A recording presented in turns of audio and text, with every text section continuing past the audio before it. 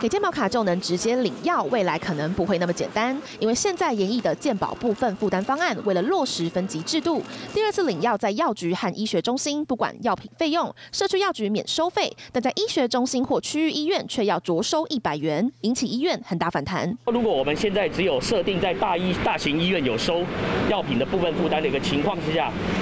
但是呢，这个就会有可能造成，就是说，是不是在诊所或地区医院或药局，还是依然存在着浪费的一个状况？我的意思是说，药物的浪费是没有医院层级的差异。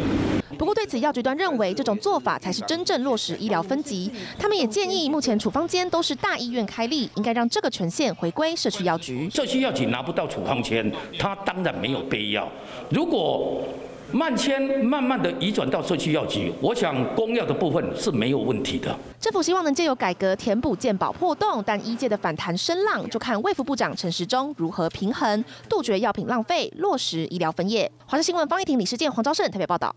嗨，我是庄宇杰，想要看到更多的新闻内容吗？赶快订阅华视新闻的 YouTube 频道，并且开启小铃铛，跟着宇杰一起看新闻吧。